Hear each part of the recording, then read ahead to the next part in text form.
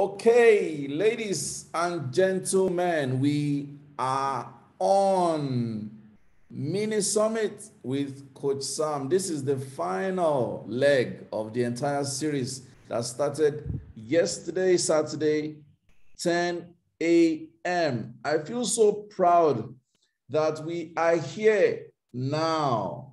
You know what just started like some a flash of an idea, like an idea wave.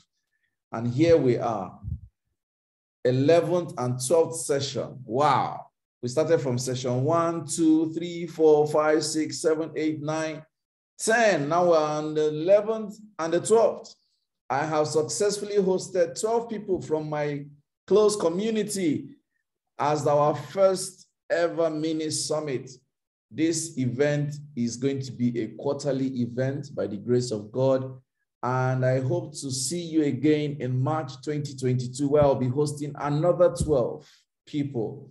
We have sent invitations to these 12 people. They have acknowledged and confirmed availability. The flyers will come out when we enter 2022. So, guys, we just started something, you know, just sometimes it looks like let's just take a stroll, and this stroll becomes a journey. And this is how life is. So I feel very humbled by this opportunity and privilege. My two speakers are online already. But before I bring them on, I want to once again thank our sponsor, Rehoboth Center for Elderly Care, for being magnanimous with sponsoring this event and making it worth our while. The sponsors made sure that we were able to give a token to all our speakers. They make sure we were online fully. They make sure that we have been able to enjoy this opportunity to share stories with you. So thank you, Rehoboth Center for Elderly Care. And of course, as you know the culture, Mariah will be speaking in a few minutes shortly when I would ask her to come up to talk about the organization and how you can come in. But I'd like to take a shot first to tell a little bit of my story around the questions that I've asked every speaker so far.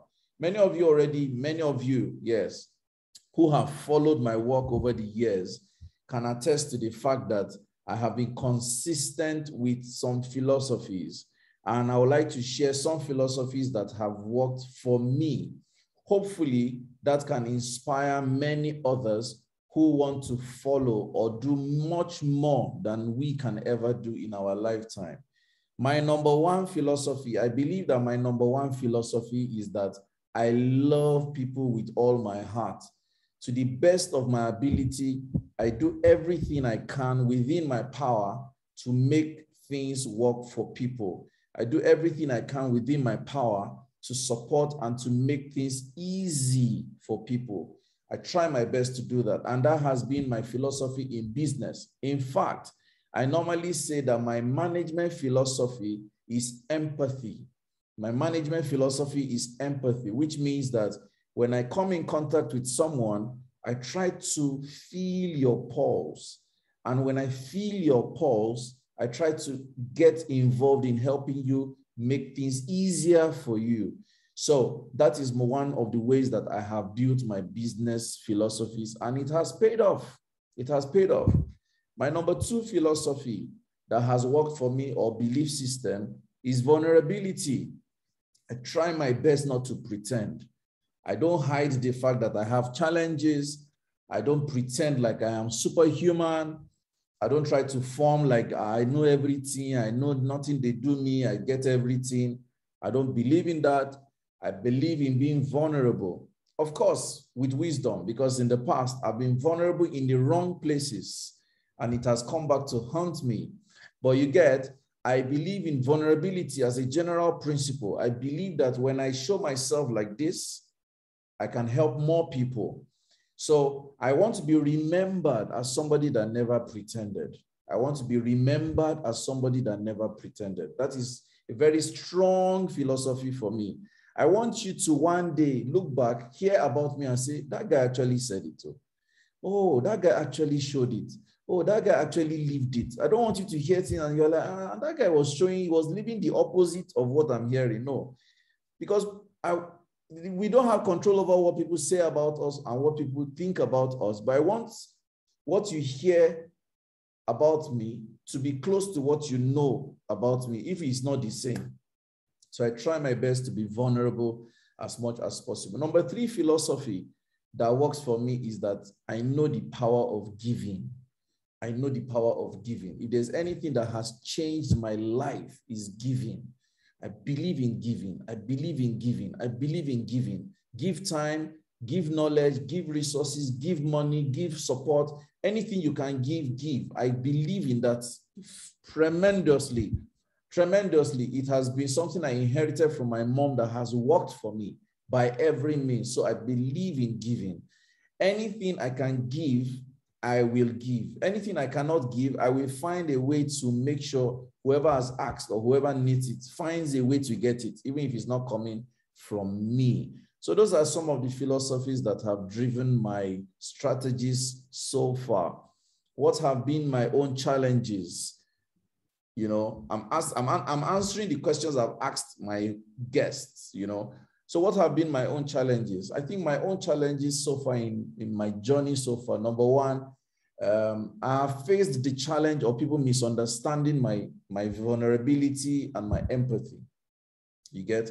I recall recently somebody was saying that, um, ah, what was that statement? Somebody made a statement recently and had to do with the fact that uh, it had to do with you know the consequence of being vulnerable and showing empathy you know the fact that when you're being nice yes the person was saying that sometimes you are being you are being nice and it has been misunderstood because somebody reported me to someone else and said, ah, the way that guy is being nice, I they suspect the guy. Will I say something? And I'm like, that's just me. Oh. Don't misunderstand my niceness like it's a special portion for you. No, I like to be kind to people. So that's that's some of the challenges I face. In trying to be kind. Some people misunderstand it and probably misuse it you know? And then number two is that abuse of access. Some of sometimes you're accessible and then people just abuse it you know? I have contemporaries in this industry whom to reach them is work oh, a lot of work you know? But i don't know how to be a big man. I i, I don't know how that works. So but that's a challenge you know and it has also caused a lot of issues even in our structure in SOPCA. So we have a structure that is very formidable. We're very proud of what we have built. But because I have people have access to me, they go discuss with the team. Then they come back and try to tie my hands so that I can go and force my team to reverse their decisions. Those kind of things are not so cool. In fact, sometimes I recall saying that it seems many Nigerians don't like structure. So many Nigerians admire structure from a distance. They like it, they like to see that a company is growing, or so we think. But let the let the structure now do the work. No they don't like to they don't like to submit to structure. They want to see structure from a distance but they don't want to submit to the structure. So when you hear things like speak to my assistant speak to the office they're like ah but you are my friend now but i can talk to you now why should i go and be talking to the office so people are uncomfortable submitting to structure that's a challenge that we have faced um, and then one of the questions i asked my speakers what would I do differently if I were to start all over again? What would I do differently? One thing I think I'll do differently is that, um, so there's this belief system I grew up with. My dad used to say, what is this life? Is it not to eat, to sleep, and to wake up? You know, and that was for him a philosophy around don't be too ambitious, don't don't do more than you can, you know, which is a good thing, but he also has limiting belief because the ambition to make as much money as you can, to influence as much people as you can, so that you can influence lives and get people to do more, was not part of his philosophy, you know. So that was a struggle. If I were to do things differently, I will undo that belief system earlier than I did. I did, I undid that belief system late into my marriage. Like I'd gone well ahead in business and life and I wish that I did that maybe since before university days. So that's one thing I would do differently. I will make sure that I, I make money early, I get become influential on time, become visible on time, you know, become a voice on time so that I can influence more things than I am currently doing, you know, right now. Uh, what other things will I have done differently? I will be a bit more disciplined. I've been, I have been reckless, you know, in my early life and a bit indisciplined in a lot of things. I would have been more disciplined with my appetite for many things so that I would have become more, less dramatic, you know, less scandalous and less errors, basically. Because one of the things I've learned is that so many errors we make in our exuberance come back to haunt us in future. So I think that I will have been a bit more disciplined in my younger age than I am, than I was, you know, if I were to start all over again. That's one thing I would do differently. Uh, so, so that's basically it. You know, I just thought I should share my own perspectives, having hosted 10 different speakers that have shared on this same point. So now let me go invite my speakers. But before I do so, I want to once again appreciate our sponsor, Rehoboth Center for Elderly Care. Thank you, Josephine Ziba, for clapping for, for that, my notes. I thought I should just do that. It wasn't planned, but I'm happy that I did. So thanks to our sponsor. Um, in the course of the session tonight, our sponsor is going to speak to us. They've been very, very generous with their resources, and we're happy to have hosted this event. My speakers tonight are very two powerful people and when I say powerful, I mean it by every sense of the word. Everybody knows Stella. Everybody that knows Sam Obafemi or knows soccer knows Stella. And Stella, unarguably, is one of the most powerful people in our industry because, like I normally tell Stella, if they are doing a ranking of people that understand our industry, the operations of it, Stella will be in the top three. And I can say this anywhere. At the, at the national level, when we're doing, when we're doing, okay, yeah, great. So when we're doing, um, you know, when we, when we want to do a ranking of people that understand behavioral change work in terms of operations, Stella has to be in the top three because she's she has seen it all. In these five years of doing soccer work, the things we have seen is not small.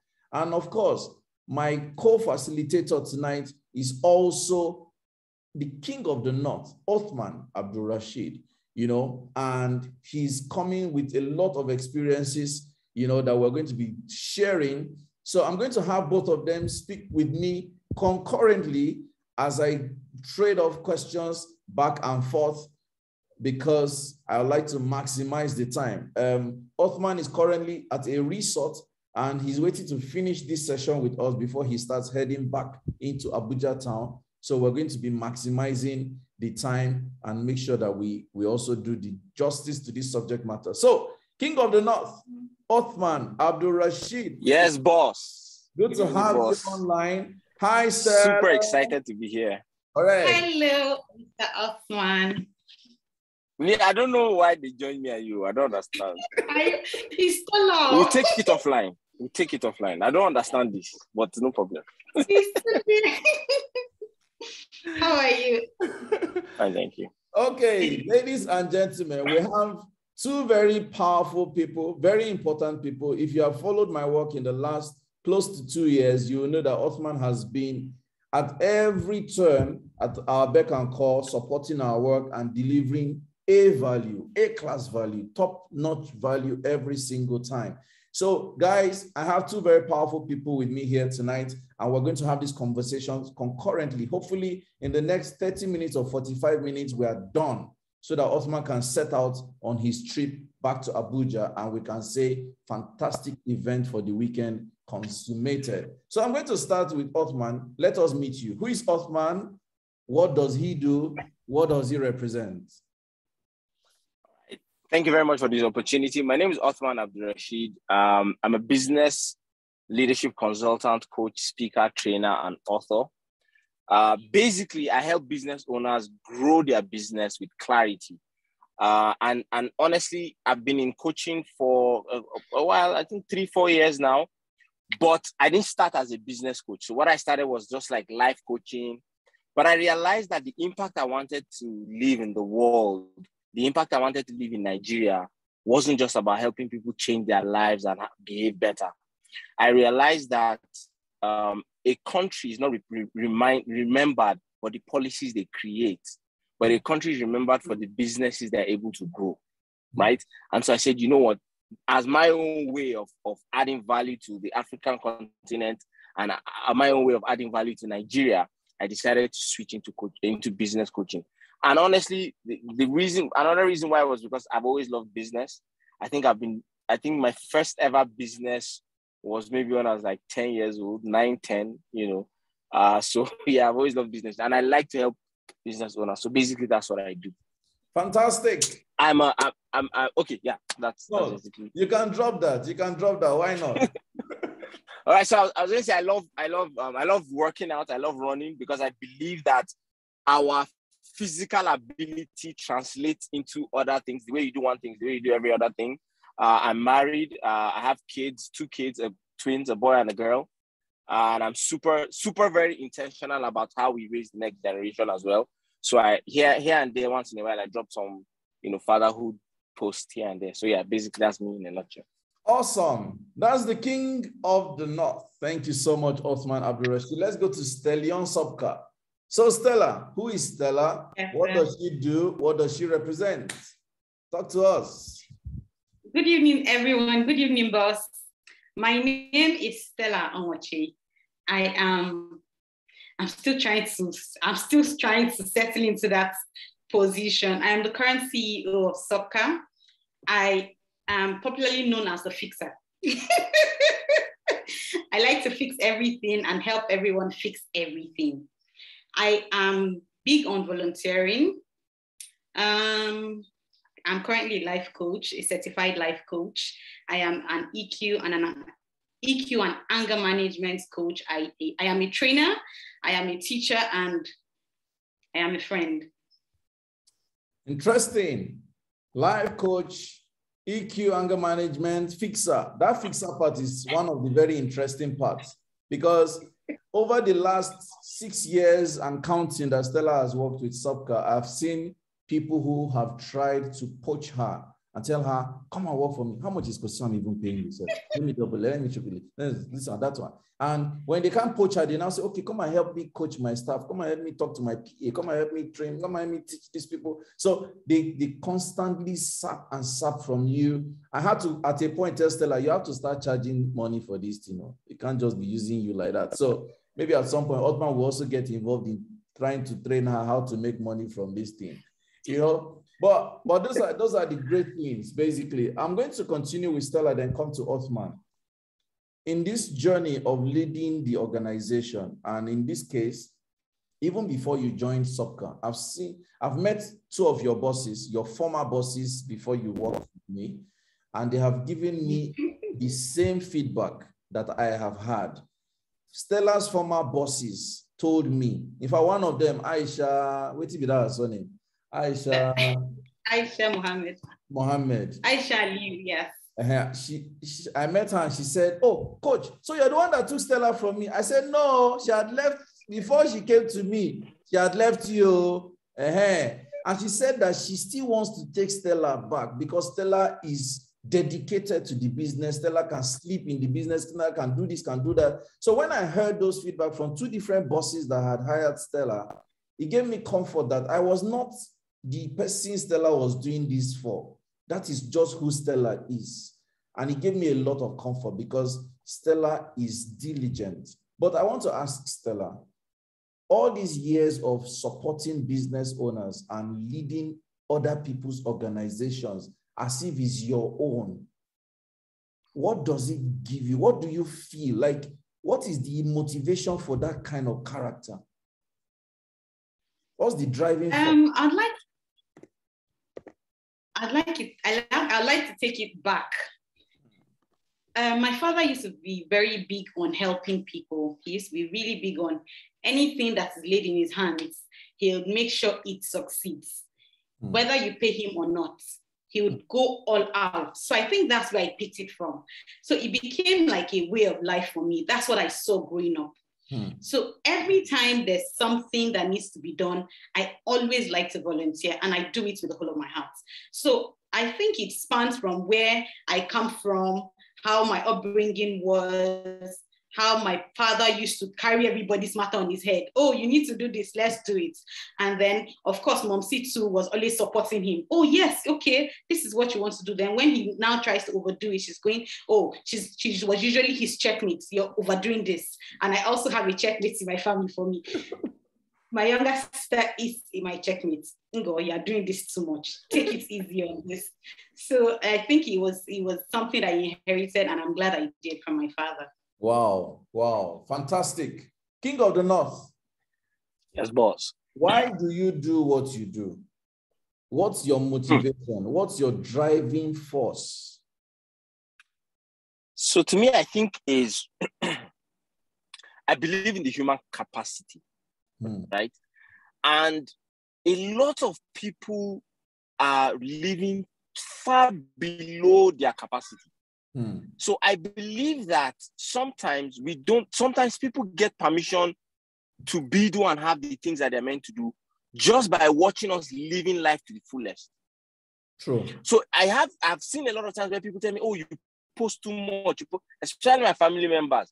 See, eh, if not that they've given me cap on what I can post. Hmm. And and and as there's a cap on what I can post, people still think I post a lot. I don't there are a lot of things, and, and you know, I, I can't talk about, you know, family things, my kids, and all that, and all that. There's always there's always a barrier. There's always a checkmate. But I believe that if you live your life to the fullest mm. and you share how fully you are living your life, right? Mm. Apart from the people that you know, those ones, their their own case is different. Maybe they will hate on you and all that. But there are people that will say, if this guy can do it, and ah, this guy don't get too head now, mm. I should be able to do it. Mm. And the honest truth is that if there's anybody that can live like that, then I'm a prime candidate. Why? Because I, I, it's not like I was born with a silver spoon. Mm. It's not like I have any special privilege. It's not like I have any special talent. I'm as regular and as random as they come. Correct. But Alhamdulillah, I've been able to make a life for myself that I can, you know, even I can be proud of in a way. And I and and you know, so if I'm if I'm living that life and I'm and I'm doing the things I want to do, right? I believe that people will begin to see that thing. Yeah. I've had my bosses. So when I left oil and gas last year, my bosses were calling me, were like, come off my wait, how how you take Duam? Mm. That they've been in the game before me. This thing that I'm doing is what they want to do but they're not even able to take that chance. And I say, hey, listen, I'm taking the chance for you so that when yeah. you see me succeed, you say, you know what, this guy, you know him now. There's nothing, yes. nothing gone the guy. Yeah. So me too, I can do it, right? Mm-hmm. And so that's why I'm also very passionate about helping business owners because a lot of business owners come into business with this gooey-eyed idea that oh, all I need to do is just put the product out there everything marama, money will start flowing. You know, but that everything is not marama. Can you take cash for squander? You know, it doesn't work that way. So because I, I suffered that same thing too, honestly, Sam, I'll tell you. There was a time, and, and I'll digress a bit. There was a time that I spent 250,000 naira, Sam, wow. to get a hall, to get food, to get everything, so that people will come and then I'll try to upsell them my course. Wow. Nobody bought anything. Nobody, wow. not one person. I almost died. Wow. Guess what? Like a year later, the same venue. This time around, I looked for a smaller venue. I spent only 16,000 naira. 16K because I counted it. They gave me discount for the hall. I bought drinks. The biscuit I gave themselves was crackers. I say, bring saucer. Let's put the crackers on the tin. I'm not spending money. And I walked away with at least 250k that people paid me that day. Wow. Wow. So that growth from that guy that was spending money to get customers to who I am now, where I'm actually literally turning coaching clients away. Wow. Wow. Is two things. One, I understood who my ideal customer was. Mm. Two, I niched down aggressively on it. Mm. That's one of the issues that business owners mm. face. And so that's why I do what I do to help business owners identify who their ideal customers are, niche down on it, create channels, understand how to meet, meet out to them. So that's what I do. What I do. King of the North. Fantastic. Wow. I'm sure these things wouldn't have come without challenges, you know. Ah. And before I continue, I want to charge everybody on this call. Please invite someone to join this call. We have at least one around 30 minutes left to go. And I can tell you the things you will hear from Othman and Stella is revolutionary because, like I told you earlier, Stella is the backbone of the business we have built in the last five years. Othman has done massive numbers. So if not for anything, somebody should remember that you invited them for this remaining 30 minutes of talk. So the, the link is in the chat room. Just copy it, share it on your status on WhatsApp, put it on your Facebook. Let's get this room filled up for this last leg of the segment. This is what I want you to do, and please do it now. So Othman, what would you call your top three challenges on this journey that you've embarked on since, since before now, this journey throughout? What would you call your top three challenges? So my first challenge is not believing in myself. Mm. And that sounds crazy because I'm one of the most confident person you met you meet. Mm. Mm. But I found a way to always sabotage undercut myself, sabotage myself. And it always came up around maybe when I'm trying to price my services. So I'll price it in a stupidly. I mean, there was a day you actually told me that, see, look, come.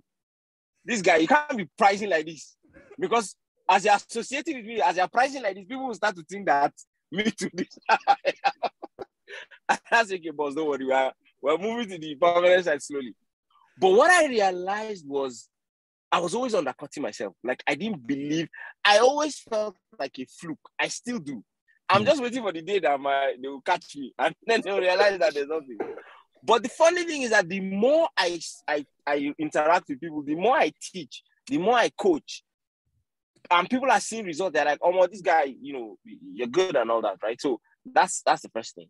The second challenge that I that I, I have faced and I still face is lack of discipline. Mm. Yes, I know. You think this guy you have discipline, you run every day. Yes, I do all that. But the honest truth is that it's only me that knows my capacity. I know what I can do. And I can tell you that honestly, there are weeks, not days. Oh, mm. There are weeks to go by that I will not do any productive work. Wow. Wow. I kid you not. And not that once in a while, oh, not that I'm in a funk. That's my default mode. My default mode is chill. Then one day I'll just wake up and then just put small effort. Then things will happen. Then I'll go back to my. So if I were more dead, if I were more disciplined and I stop procrastinating, honestly, I know the amazing things I'll do. Wow. Right. So that's and it's all about me limiting myself, right? And I think the last one is um, one of the challenges I've had is I've not been able to get people to work with. Mm. And it has nothing to do with them. Mm. It has a lot to do with me. I'm not the best, I'm, I'm not a very patient person. Mm. I cut people off easily. Mm. Uh, so I've had quite a number of people. I've even had conversations with you where yeah. I ask you, okay, how did you start? You know, some people volunteered. I, that you asked me that okay, I should look at all the people that are hailing me that want to work with me. I should try to bring them close. So I bring you close, then I give you something to do, and then you don't do it. I'll just cut you off. That's I, I'll just cut you off and I'll move on. Right? And because I don't have time, you get it? like there's no time. Let's move, move. So, but I, I honestly realize that for the next level that I want to go to, I need to put systems in place. Wow. I need to bring people together to wow. work with me. So I'm consciously working towards seeing how best I can I can do that. And I think for the people service, two things is two. Honestly, the truth, I don't I don't want to pay people plenty money. That's the honest truth. So I, I try to see how uh, what I do is not just design. So instead of me to get a dedicated graphics guy, I'll say you look, just give me templates. Give me 10 templates. How much will I pay you? When you give me 10 templates, me, I'll be putting it myself. But honestly, I need to start working on system. So those three things are my biggest challenges, honestly. So You need Stella in your life for that. I need Stella. but Stella is for me, for me. Honestly, Stella, I don't know. She doesn't answer me. I'll send a message. Just leave me on red. Oh. Maybe when we jam, when we jam, when we jam, when we jam late, later this month, we discuss when you can't run anywhere, when we are in the same vicinity, we hold you down. now let's go to Stella. So Stella, what would you say are your top three challenges working? Because so one thing about Stella um, that I need to say here is before Stella accepted to be a CEO was a lot of work, a lot of work because Stella's natural area is being a backbone. There's somebody in front, she's doing, so she's the doer, she's a fixer. You know, just tell her what you want. Once there's a gap, Stella steps in. Once there's a, a flaw, a lapse, Stella steps in. But because she understands the culture of the business we have built from day one, she was the best candidate to be the CEO of that business. It was going to be counterproductive to bring somebody to be her organ outside. It would just kill him because to relearn that curve.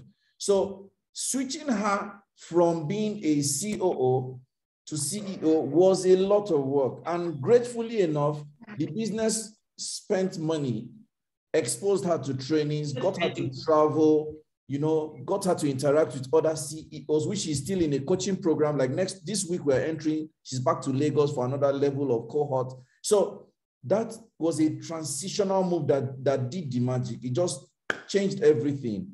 So, but, but then I want Stella to share with us what her top three challenges have been on this journey. Hmm.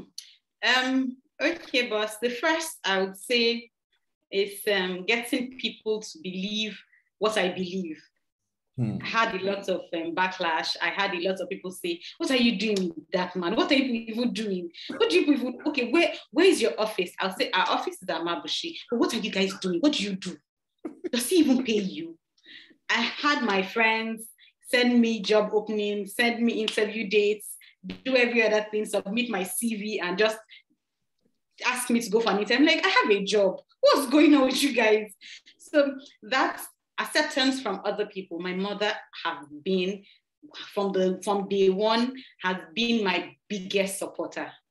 She has been my biggest fan. She's one person that keeps saying, "You can do it. Ah, you guys are doing great." Every time you call my mother for a for an event, free or paid, she will show up. She always shows up. She has been my biggest supporter. With her, I can go the mile. And then another thing was transiting from the PA to chief of staff to COO, then CEO. It was everything is happening so fast And I'm wondering, okay, Coach Sam, can you just hold on a little? I, I need to get hold of what is going on. What how can I just, I'm just CEO, COO yesterday. And so the last time I checked my employment letter, it was read, it read COO. And that was 2019. And in 2021, I am already CEO. I said, Coach Sam, hold on, I'm not ready for this. So I think, as Othman said, believing in myself, believing I can do it. Because some would say, Stella, you can do it. Just go. And then he locks up. He doesn't. He doesn't involve himself anymore. And that time, I know that. Oh, this man has just given up. Let me just do what I have to do. Do what I have to do, and not embarrass myself. So that's again. And then clients. You know, I was speaking with a client last week, and then she she goes, "Oh, Coach Sam, Coach Sam would always say, go to Stella," and I said, "Yes." Because Coach Sam does not have some information. He, and she, she was really surprised. You mean Coach Sam doesn't? I say, honestly, sometimes I try to give Coach Sam, an, Coach Sam an information. He goes, oh, Stella, I don't need this. I need to do other things. This is not, this is your jurisdiction. So deal with it. So when she goes, oh, you really mean coach she was really perplexed that coach sam does not have some information. I said yes. He actually doesn't concern himself with a lot of things. So dealing with customers from different backgrounds from different um, um, world views it was it's, it's still it's still something i am i'm helping my team um, cope with. Because some people you face value, if you judge them by face value, you think that, oh, they're going to give you everything you ask. They have, they've agreed to a particular amount. And then when it comes to payment, you have an issue with them. So when I have to judge a customer by face value, sometimes my sentiments gets in my gets in the way. I'd be like, oh no, no, no, Sam, don't worry. This person is going to pay. So those kind of things have, have been and are still challenges, even in the course of the journey. But I know that we're coping, we'll get there. We keep re-strategizing, come up with a strategy, keep re-strategizing. Ah, but transitioning is not, is, has been the biggest challenge. Being on this course is a challenge. Fantastic, fantastic, fantastic. I'm loving this conversation because I think that both of you have the same nature of growth. And those on this call, especially those that will be watching this on YouTube much later, would find value in this evolution as you are evolving. It's giving hope to some people that, oh, I can actually evolve. I love the way this conversation is going. Let me come back to Othman. Othman, in terms of what you do, I think that sometimes some business owners are overwhelmed with ideas and the execution part becomes a challenge. You being a coach, a professional, how would you advise or what would you instruct a business owner on this call or somebody who thinks they're, they are full of ideas, they don't know what to do? How can someone move from abstract ideas to tangible outcomes in a short three to five steps, what would you say? So, ideas, right? And uh, ideas are a dime a dozen. Everybody has ideas, even people that they have ideas. so, having ideas is not the thing. Mm. Executing on those ideas are the things that are necessary. Mm. And I think I want to come from it from not steps, mm. so to speak, on what to do, because different ideas have different execution pathways, right? The path to cash will be different. But it's more or less, I want to come to it from the mindset. How, what kind of mindset that you should have. Mm. And that kind of mindset comes from three laws that are universal, mm. right? And and they really come, you know, it's it's about um, um, the ideas. The first law is the law of attraction, right? a lot of people misunderstand what the law of attraction, what the law of attraction is. They think that all they have to do is to think positive thoughts and then they will attract the things that they need. But you see, it, it has it has nothing to do with that. Yes, that's part of it. But you need to believe, you need to, you need to, your body vibration needs to carry that belief and then your body becomes like a magnet and then you know it, it, it, those things and situations start to come. But that's not the that's not the final. That's that's just the first step. The next step right is now the law of intuitive action. And the law of intuitive action is where a lot of people fail. Mm. what does the law of intuitive action say? It says that for every idea that you have mm. you must take action on it. Yes. Take action. You have an idea take action. And the smallest action you can take is to write it down. That's the smallest action. If you can't write it down, then just, just like you said, Coach Sam, you had this idea of this mini summit. What happened? You went to work, pa, pa, pa, pa, pa. There are some people that would have had the idea for mini summit, but till now they've not done it. They will tell you that they want to do it in January or they want to do it in February or in March.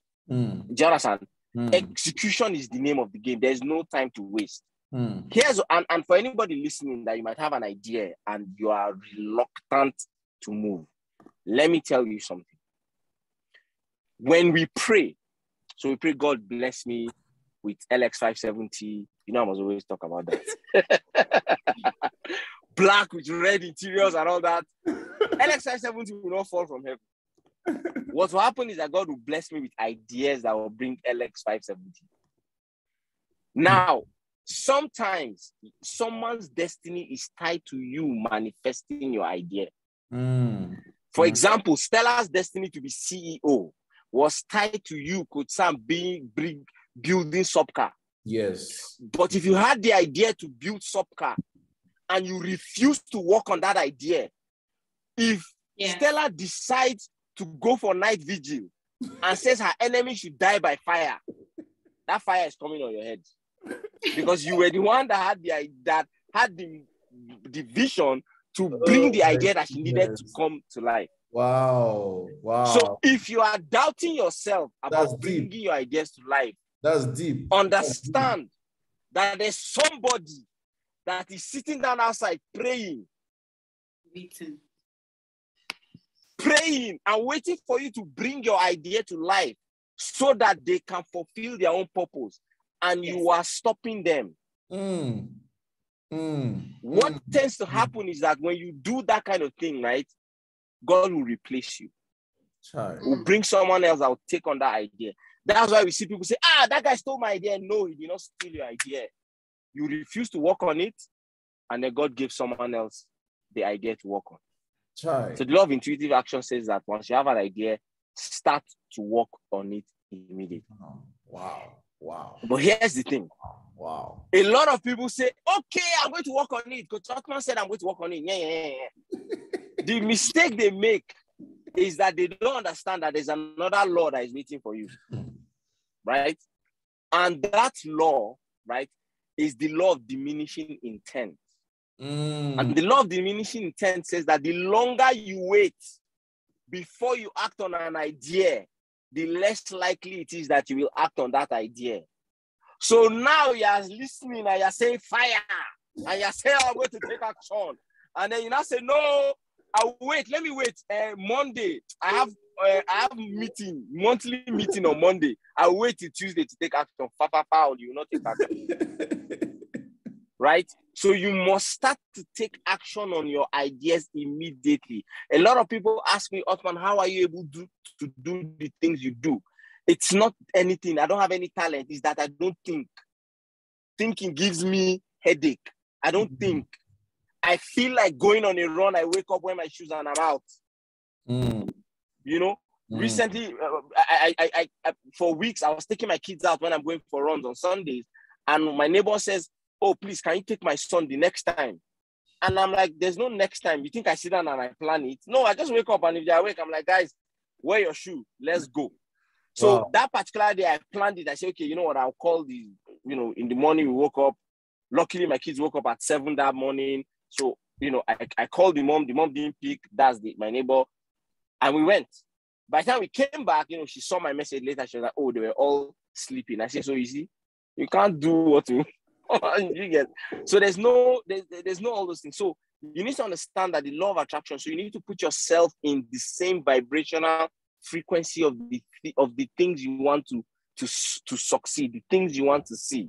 Yeah. Right? Yeah. put yourself in that yeah. position. Put yourself in that situation so that you start to take the same vibrational frequency. Yes. Once you take the, that vibrational frequency the law of intuitive action as you have an idea start to act oh, on it immediately Straight up. And as you're doing that, you need to understand that the law of diminishing intent works. Even me that I'm teaching you, sometimes it works on me. Yeah. I'll say I want to do something. I will now not come and do it. And then somebody else will come and do what I wanted to do. Do you get? Wow. So the, wow. I think these are the three things that people Thank should you. have in their mind.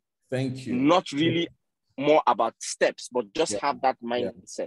Thank you so much, Othman. I like the way you have put it. And I see from the chat room that people are getting straight up value from this thing you're saying. One thing I would like to add to what Othman has said, because I also noticed that many people, because they are gifted in generating fantastic ideas, they want to now he's saying the law of you know taking action and then you are taking many action on many ideas and then you are stuck.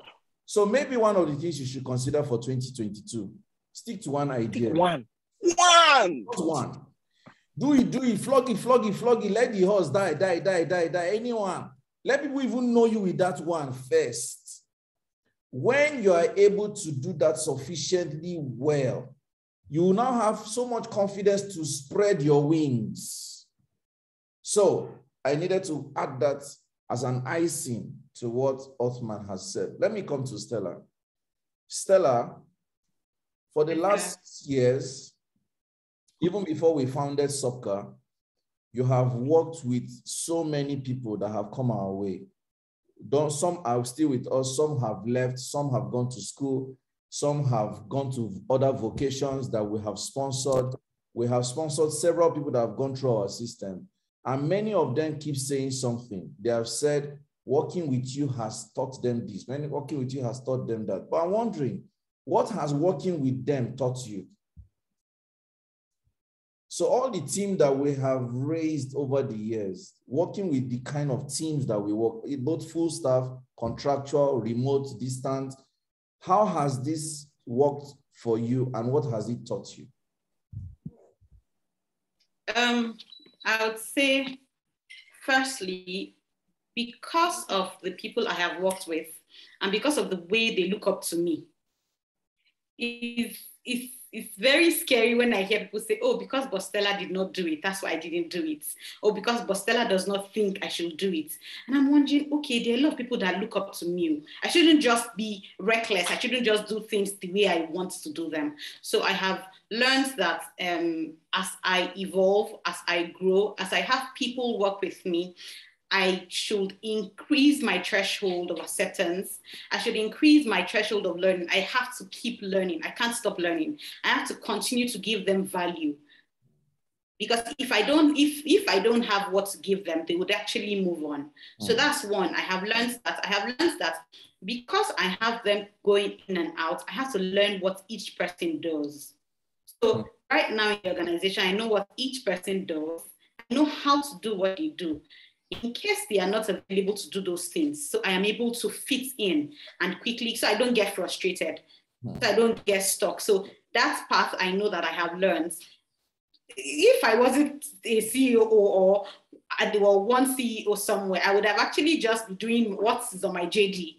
At least I knew that when I was the PA, I was doing just what was on my JD. not my PA, just move. So so I have learned to grow. I have to keep growing. I can't stop growing because of the people I have working with me. Wow. Wow. Fantastic. Othman, let me come to you. Yes, boss. What are the mistakes you think you've made on this journey? Hmm.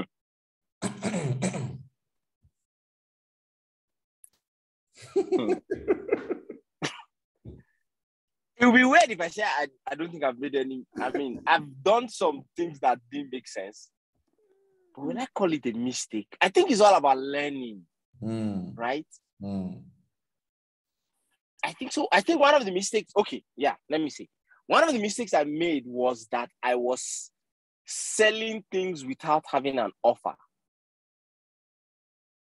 See, that offer, if you have an offer, I used to, I didn't know what an offer was. I used to think that offer is, eh, I'm doing this thing, come and buy.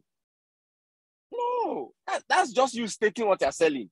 An offer is when you have, and honestly, that book, uh, uh, uh, uh How to Sell to Nigerians, was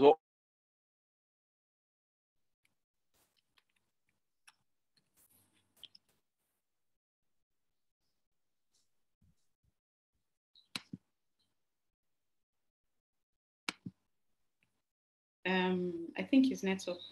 No, I think he received, he probably received a call.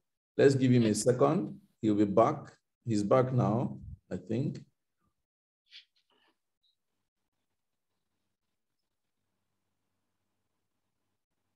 Okay, the network has thrown him out. So let me take that question to Stella. Stella, mistakes. Tell us about the mistakes you think you've made in this journey so far. Um, I'd say um, getting to be mentored on time. Mm. Okay. So, Sorry, I'm back. Okay. So should I continue? So, uh, Stella, yeah, no, go ahead, go ahead, go ahead. Stella, continue. Othman will be back. Okay, so getting to be mentored on time. So getting myself to the point where I realize that I need a mentor. I need to be responsible or answerable to someone. I need someone to checkmate me. Hmm. Because I we did not, I think the idea of having your children have this uncle or aunt that they look up to, hmm. that they, they cannot fail because auntie so so be angry. Yeah. I think it's very good. I didn't grow up in that system. I only grew up knowing that I cannot fail because I don't want to fail my father. My father didn't fail, so I can't fail. So I learned, I only learned from my father, and mm. I did not learn mentorship until later when I got into the coaching system. I realized that, oh, I actually need someone to mentor me. Mm. I need to know what systems look like.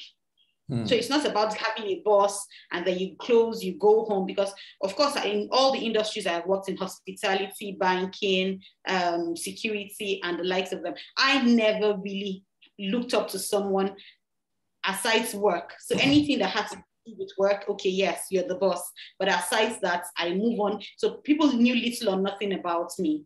Hmm. Then systems. When I started a business, I started the business helping women in Abuja get domestic staff. So I get them trained, I get them to the to their um, bosses, I monitor them. But I realized that because there was no proper structure around it, it actually I was I was worn out. So I burnt out. Women were frustrating me. The cleaner, the staff were frustrating me. The junior, the um, domestic staff were frustrating me. So I had to shut down Wow. So I that was one mistake I made. I didn't wow. learn structure. Wow. I didn't learn system. So I used that to do better with soccer. And this was before I joined soccer. And even when I joined soccer in the early, early years, when I joined, I just joined soccer. So I learned that structure and system was very, very important for, is very important for every business to thrive. And then I think that's that's the two for now. Fantastic. Very, very pragmatic mistakes shared there. Um, for anyone that wants to run a business, I think that this, this goes a long way to help you understand that you need to have a reference. we call it law of referencing, which is the mentoring she talked about. There has to be somebody that seems to have a cardinal direction that you can emulate. It may not be verbatim copying their journey, but the thing is that when you see somebody that is making progress in the direction that you can resonate with, there are principles and vibes that would project that you can catch that become your stimulating factors. So these are very, very key. That's why some of you, when I talk of Mrs. Ajala, when I talk of Dr. Bala Mohammed, when I talk of Dr. Gidon, sometimes it looks like I'm worshiping these people. It's not worship. It's just the fact that there is a way they do their thing that I have connected with that is driving me you get when my father died, he actually destabilized me. Mm. I felt like there was no I was not accountable to anyone anymore. So mm. my mom was my mom is a friend, but my father was the man I was looking up to. So when he died, it was like I had lost everything. There's nobody to be accountable to. Let me just fly. Wow. Wow. Wow. Wow. That's very principle there. That's very principle there, man. Very deep. Thank you so much, Stella, for sharing that very vulnerable point. Um, Othman, let's continue with your mistakes. Yeah, okay. So I said um, when I first started, one of the mistakes I was having was I didn't have offers, right? Mm. And I always, you know, I was always just trying to sell, trying to sell the next best thing. Uh, and until I sat and I realized, I said, wait, listen, look, you need to stack these offers in a way. And honestly, since I started doing that, eh, it's been it's, it's it's been great. I think another mistake I made was when I first started, I was trying to do what seemed what seemed like everyone else was doing. Mm. Uh, I didn't do what was true to me. Mm. Um, so I, I started Business Leaders Club, and what I was doing was I noticed that most people that host membership sites just used to go and record and upload. I struggled with that thing for months. It was killing me. Mm. And I'm not that kind of person. I'm a people person. I get my energy off people. Sometimes I can jump on a call and I don't know what I want to teach. But when I interact with the people, suddenly it comes, the fire comes. So until I made that switch to now saying that, okay, you know what, my business leaders club will be calls, yeah. then I can upload the calls. Anybody that misses it can go and watch the replay. Yes. It became powerful. Then when I now started working on the community, Hmm. Right? Ah, no, that one just killed me. I guess what? And I learned this one from you. All I did was I got a couple of books together, printed mugs, Business Leaders Club mugs. The people that were on a particular call, I scream munching. I said, okay, all of you guys will get souvenirs from me. And I send them the book, the mugs, and and the whole community has been going crazy since then. Coach, you're the best. You're... I'm like, ah, oh, that's true. So I, I think I saw Dr. Ngozi was asking, uh, what do I mean by stacking offers? So here's what I mean. For example, now, um, uh, so I have I have so I have BIZAC, my business acceleration challenge that that that I was doing. How I stacked the offer was I said BIZAC is fifty thousand is is twenty um is how much yeah twenty k twenty k right. I said um boss, which is my business operations and strategy section, is fifty thousand right, and then I said you get one month coaching for 150 right. So 150, 50k, 20k. That's that's 220 Yes. then I now said you get BLC subscription, which was 5K, 5K. Then you get how to sell to Nigerians, which was 5K. That's 200 and something. yes. And I now said for only five people, I will give it to you at 50,000 naira What? per person. Yes. I know. Wait. So I was testing it. I wanted to see if they will, if they will buy the offer, which was what I did. That time I spent 16,000 naira that I told you. I got 10 business people into a room, spent 16K, gave them that offer, and I said only five people. There and then, five people paid me. It was mad. I was like, are you kidding me? So I now said, okay, great. So that means this offer stacking thing works. So, and and guess what? So the idea, you might think that is more work, but it's not. It's not. If they join Biza, the whether they join work, Biza or not, it's, the same, thing, work. right? exactly. So the only extra work will be the boss session, which is Mm, what they are paying for anyways, in principle, the 50,000. mm, The coaching sessions after that is a gateway because I guarantee you, if you work with me one month, you can't go anywhere now. So next month, you now say, boss, how we go do? I'll say, eh, eh. hey, can we take cash for squander? Wait, go. We take go, let's go there. That's all. You understand? So it was a temporary sacrifice for a oh my Future goodness. you understand? So I That's what I mean by stacking offers. So stack your offers like that. Put up a lot. See, give people something that they can't believe it. They Uh-uh. cannot- ah, they You pay 20k for disruptive marketing class, and you get book worth 50k. Uh-uh, ah, ah, wait, you get food. Tell us to kill you with food. By the way, if you guys have not signed up for the November disruptive oh. Strategy marketing clinic, you have not. I don't even know. Better leave this call and go and sign up because you have sold out. Come and join sold out gang. You're not here. Later, when we put sold out, you say it's a lie. Okay, oh, Follow Be there. road. follow. Wow, I love these conversations. I love these conversations. See, eh, guys, the thing about these things we're saying is that we're sharing what we are doing, not what we have done, not what we hope to do. These are things that we have replicated severally at different levels. And if you have followed, you know that Othman has been in every opportunity that we have, both his BSG, disruptive marketing. He is one of our in-house partners where we're, we're in for life. So we're sharing these things. It's fun, yeah. It's funny. We crack jokes, but these are real issues. And we need you to take advantage of that. By the way, Osman just talked about the disruptive clinic. We actually have a deadline after which nobody would be admitted anymore, which we're going to announce a bit later. Because even the facility where we're going have given us a deadline when we must make full payments for everybody that is coming. So it means that if you're interested in joining, if you are still floundering whether to come, whether not to come, maybe you should just consider that you are not coming because we will sell out, like he said. And you will not be the one saying, but Coach Sam, now you did not tell us. But that's going to be for later. I have only one question left to ask both of you. But before I ask that question, I'm going to bring our sponsor to come and talk about Rehoboth Center for Elderly Care. Madam Morayo Ebo, please come online now and let's talk about your generosity as a sponsor for the mini summit November 2021. Where's Madam Morayo? Please bring up your video so that we can talk about our Center for Elderly Care. Um, Hello.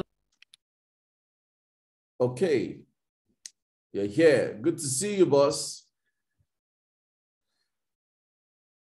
Can you hear me?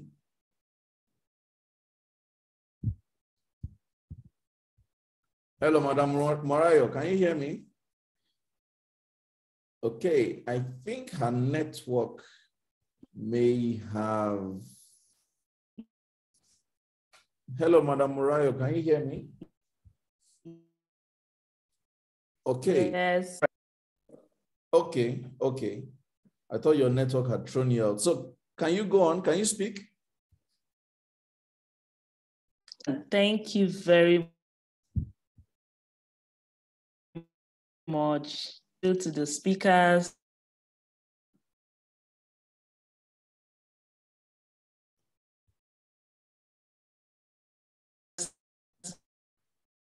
Uh, I think Stella and a lot. Hear me, please. Um, it was breaking. Yes, I can hear you, Maureen. Okay. Yes, ma, I can hear you. Yes. All I Okay, thank you. Thank you for that confirmation. Uh, so Rehoboth Center for Elderly Care, what we do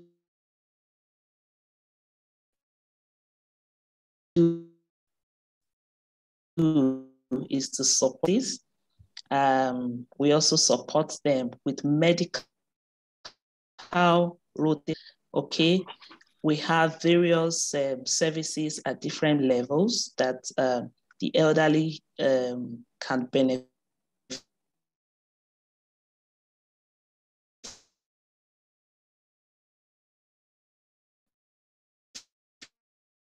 from elderly people for us, you know. but you Yeah, no, you will not do the taekwondo style, you know. All right, so we have training services in we have town hall uh, sections. Can you hear me, please? Yes. Yes, Loud I and can clear. hear you. Oh, thank you So,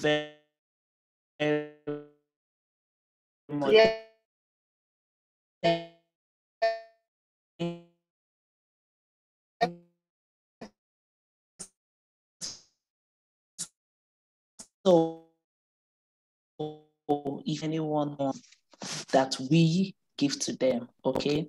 Again, um, we also have opportunities for for organizations, you know, if you know that uh, you will know that as we age, you know, so many things changes with us. Okay, organizations should take opportunities like this to train uh, staffs on, on how to make wise choices when it comes to their food, when it comes to health, uh, medical checks, and the rest of the things. Okay, then you and I are the next generation. How do you want to stay healthy so that, oh, I think my internet is.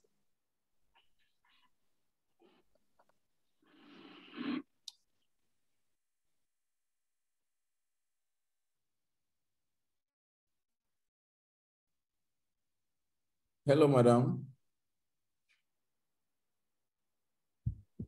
Okay, I think I can take it off from here just to save the time. I'm currently scrolling through the website of RCET, which is Rehoboth Center for Elderly Care.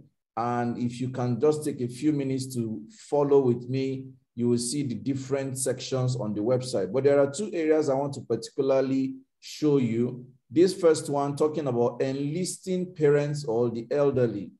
And it talks about in case you want this organization to help you follow up your elderly ones, you know, phone calls, messages, especially broadcasts on WhatsApp, visitation, taking drug supplies to them, um, sending them medical professionals like op optometrists or, or dentists or physiotherapists or, you know, food nutritionists, etc you can fill this form and enroll your elderly ones and even tick the areas you want them to be catered for. You can pick the options that are available for you and that would be taken care of by the organization absolutely free of charge. You are not paying anything by enrolling your elderly ones. However, okay, my power has stopped, but let me just continue. However, if you also want to um, be a donor, let's assume that you want to contribute, you know, to the project by being a financial donor, then you want to click on the donation link. Let me quickly find that. The donation link, which is here. Um, so here you're able to, okay, this is for volunteer. If you want to volunteer, you will click on the become a volunteer and you can also select the category you want to be a volunteer, maybe a follow-up member, maybe a professional, which is the medical team, a financial contributor, which is those that want to send money. And then we also have the donation. The donation, like I talked about, is where you are able to say, oh, I want to give money. This will automatically open the Paystack link where you're able to contribute via your card. And you have the option on the donor. Let me go back. The, on the donor page, you actually have the option of donating offline and online. Let me quickly find where that is. There's a there's a place where you can donate online and offline. So the offline means that you'll be given a bank detail where you can now send an electronic transfer to that account.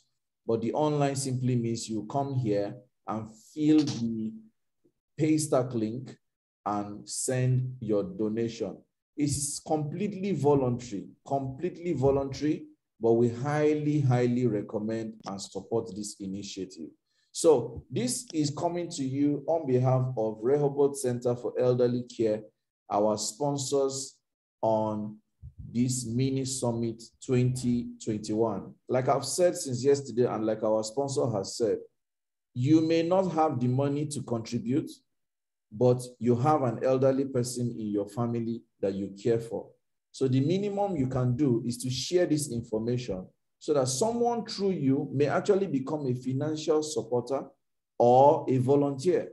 And somehow it may just turn around to you saving someone in your family just by being a part of this initiative. So once again, we want to thank our sponsor. Um, is your network better now, Madam Morayo? You want to wrap up? Yes, please. Thank you okay. very much. You can just say a word to finish that. Oh, I, I joined you when you were almost rounding up, and I think you have really done justice to that. Thank you very thank much. You. So enlist Madam. your elderly ones, enlist, tell someone, thank you. Please, ladies and gentlemen, let us help us appreciate Madam Morayo and the Rehoboth team mm -hmm. in the chat room. Please send your love. This is the best time to do so because this is our final session. We are closing in the next 10 minutes. Please share your love in the chat room. Let them know we appreciate this gesture and this massive opportunity to share and contribute to humanity. Thank you so much, Rehoboth Center for Elderly Care and Madam Morayo Ebo. Thank you very much. So, ladies and gentlemen, let us proceed with the rounding part of our conversations tonight with Othman Abdulrasheed, the King of the North, and Stella Onwochei, CEO SOPCA. My last questions to both of you, and I'll start with Othman. Excluding Coach Sam, who are the three people that have influenced you Who are the three people that have influenced your journey? They have influenced what you have become or what you are becoming. Please tell us. Oh, three people. Yes. Okay, so I think I I think I said apart from you. So yes. that that one we had. Okay. But one person was my former boss, right? My CEO of NU Retail, Yomi, uh, Yomi. Mm. And what, how he was able to influence me is that he always thought big. Mm. Like just, you know, NU started as zero and we're able to grow with branding and all that. So all my branding ideas come from my work with him and, and you know, how he has been able to influence me. he does things top notch, no middle ground, like you know, well packaged and all that, right? So I think that that's that's one person that has influenced me. Uh, I think another person that has influenced me is Steve Harris. So Steve Harris um, really showed me that it doesn't matter, right, mm. where you're coming from, but you can always live up and, and live the dream that that you want. And I think the last person, and in no way the least, of the person that has influenced me is my mom. Mm. Uh, so my mom raises the bar all the time. Just when I think um she'll just raise it and say, Oh guy, you have not even started. uh so I I learned honestly, so something happened recently, and I don't know if, if you were aware of this, but so Nonye had a training in Kaduna, and you know, she wanted to talk to me to, to go for the training, and I couldn't go.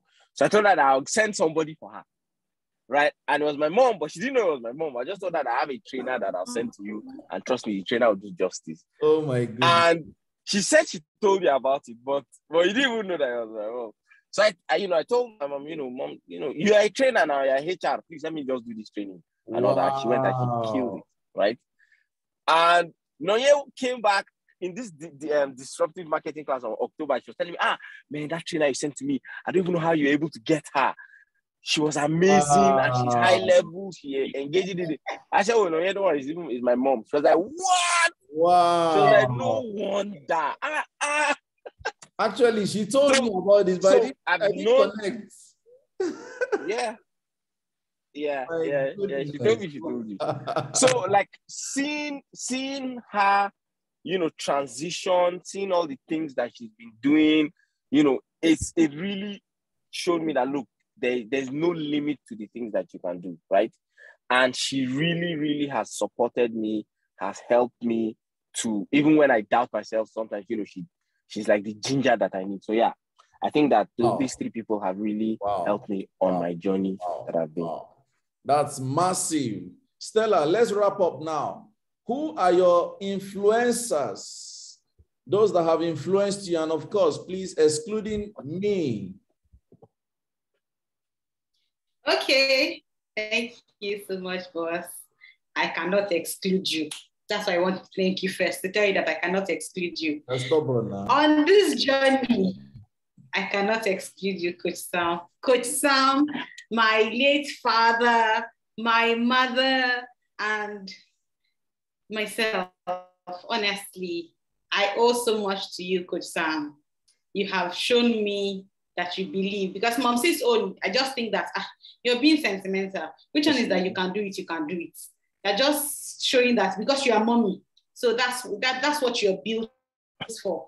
But honestly, coming out, I'm seeing that yes, I can actually do it. Thank you, Coach Sam.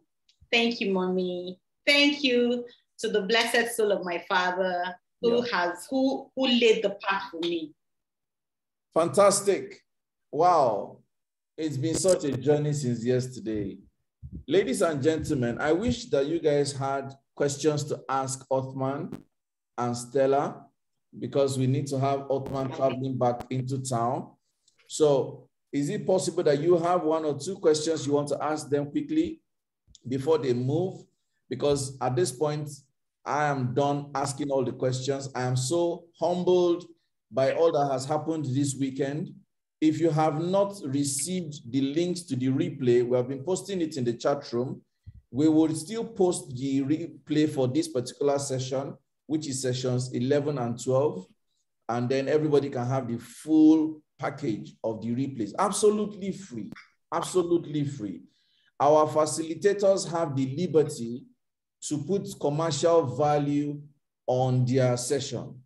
So somebody like Othman, for instance, can the way he normally does it, to repackage this entire video of his session, put it out there as a BZAC content or you know BLC content. Only the facilitators have rights to put commercial value on their sessions. Every other person, no go area. Just enjoy it and share it with everyone. We promise to do this by the grace of God, March 2022. And we already have invited the speakers. They have acknowledged and accepted in due course, the poster will be out. But before we go, I want to remind you, SOPCA Futurist is the next big thing. For every one of you who has the need to have a staff that has sense, way head correct, we want to help you package them, train them, groom them, grill them, expose them, six months intensive program, and then unleash them to the, to the industry via employer. So in case you have an employee that you want or you have somebody in mind, send them to us. If you don't have anybody in mind, share the flyers and the news about Super SOPCA Futurists. When people register and we train them, you can now come and hire them just based on terms and conditions. November 26th to 28th is our residential disruptive marketing strategy clinic. We invite you to come and end the year on a fun note. We're having barbecue, end of year party, great conversations, great networking. So please, we, we, we expect you to register.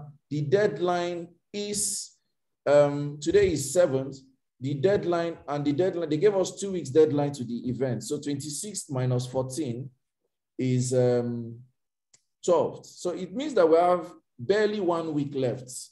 So it means that you have only one week to register for the Disruptive Marketing Strategy Clinic. Otherwise, you may not be able to attend. Um, I see two questions in the chat room.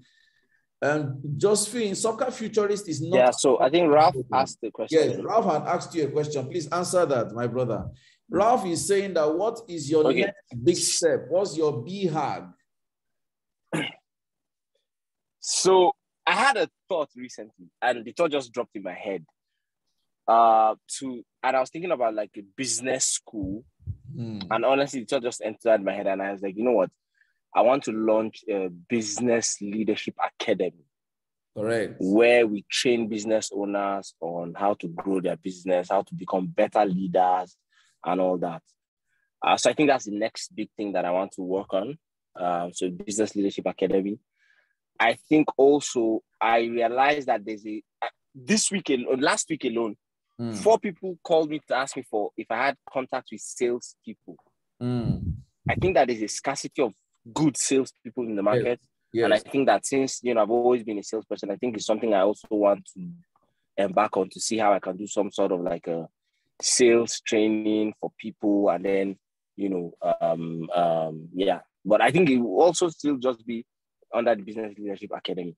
But I think how we have how we have Lagos Business School. Yeah. I think we deserve something like that in the north. We do. We do. We do. I agree.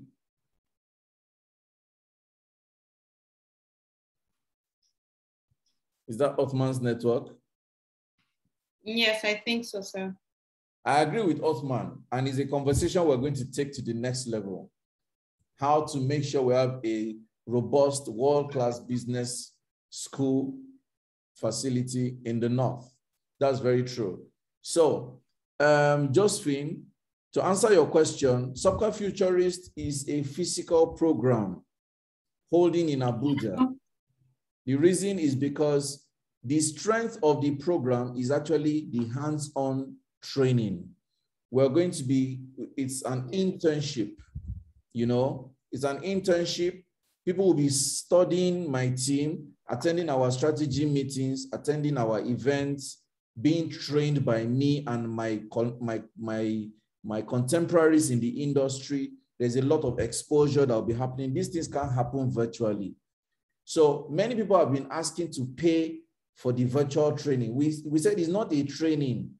Yes, there's a training part, but the strength of the program is not the training. The strength of the program is the hands-on interaction and experiences. Those sit with me and my team, plan with us, see how we do things, our books, our numbers, our strategy, our marketing, our customer service, our operations, our distribution of products, our planning for events. These are hands-on things.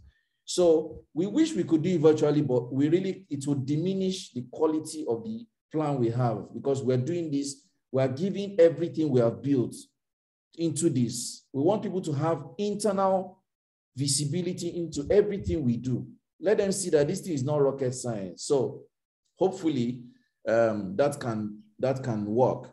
And we're really encouraging everyone is what the is what paying the price. Unfortunately, it's very affordable. $200 You'll be certified in all our courses. You have access to coaching. You have access to the market. It's, it's like as good as free. This $200 is so that you will not say that I didn't pay anything because of people, if nothing comes out of them, they won't take it seriously. And there, we are already having registrations. We have only 20 slots to the SOPCA Futurist program. Already, as of this morning, Stella, please confirm five or how many people so far? Five, yeah. So as of this morning, five people have registered to be trainees. It means that we have only 15 slots. We have not even launched, oh, we're launching December 5th, a virtual online launch. We'll still talk about that in the course of the weeks. We'll be promoting that. So we have not even launched yet. We already have five payments. The course starts January 10th. So if you are delaying, you're not likely to register your interests because by the time we sell out 20 slots, the person has to wait until June. You remember it's, it's a six months program. Once yeah. we start the program, the next cohort will be taken in June. Um, Precious, you are sending to me privately. Please send it on the public domain. So register your people on time. If not, they have to wait until June. Thank you so much. So I think we need to wrap up at this point. Um, unfortunately, Othman's network sent him out, but we need to release him. Onyebuchi has a question for Stella. Please ask your question. Okay, thank you very much. Good evening, everyone. Thank you for the very interesting session. I have a question for Stella. Right. You mentioned earlier that um, your friends had been sending you some um, job openings and all of that, and I'm sure one or two must have been very dicey, but you rejected. So I want to know why. Why SOPCA? What's why SOPCA? Just I just really want to know why from not from the professional because it's beyond professional or money now based on what you said. So why SOPCA? Correct. I want to. Um, thank you, Bubu. So my reason or one of my reasons is I saw satisfaction and I saw future. SOPCA gives me the kind of satisfaction that um, I didn't get in the in the banking industry. I didn't get in the fashion industry. I didn't get in hospitality.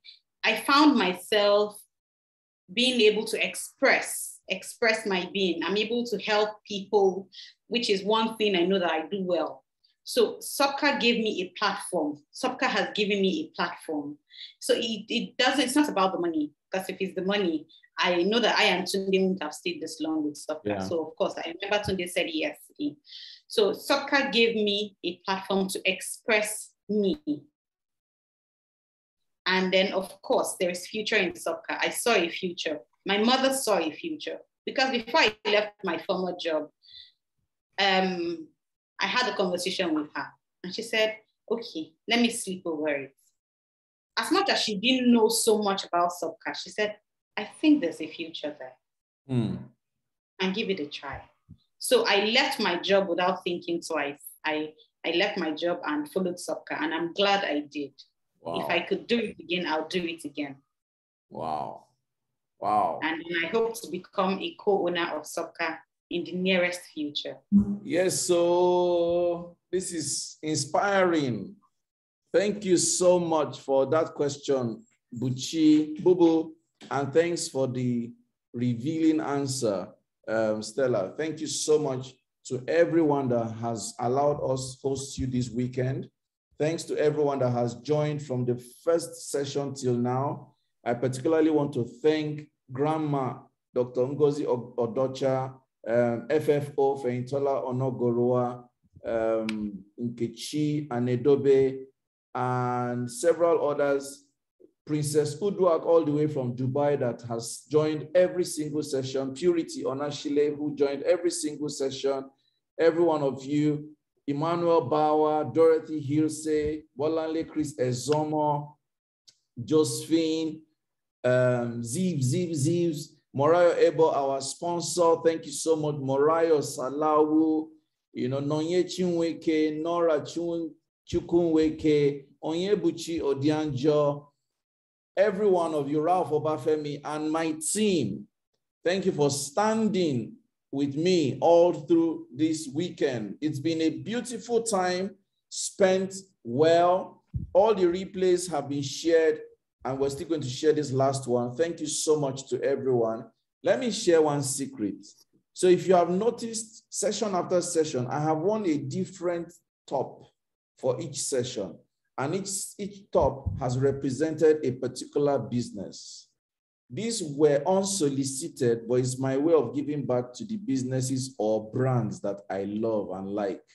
So, per adventure, next time you see that we're hosting a program, a virtual program, a physical program, you probably want to send me a t shirt and I could just wear it on your behalf. It could just be part of your branding strategies. It comes as a generous part of me giving back to your brand. So speak with my team. They can tell you my size. If you are able to afford a free t-shirt, it doesn't cost you anything for the visibility. I'm just putting it out here. No be no get clothes to wear. Oh. And I'm not begging you. I'm just saying I love to help and support you. So it's true now. So that they don't say, ah, this man is looking for clothes to wear. I have clothes to wear. So just putting it out here. Have a beautiful week. May God bless you. As we're starting this week, doors are opening to you. Peace is with you. You are in abundance. You are in great, great grace.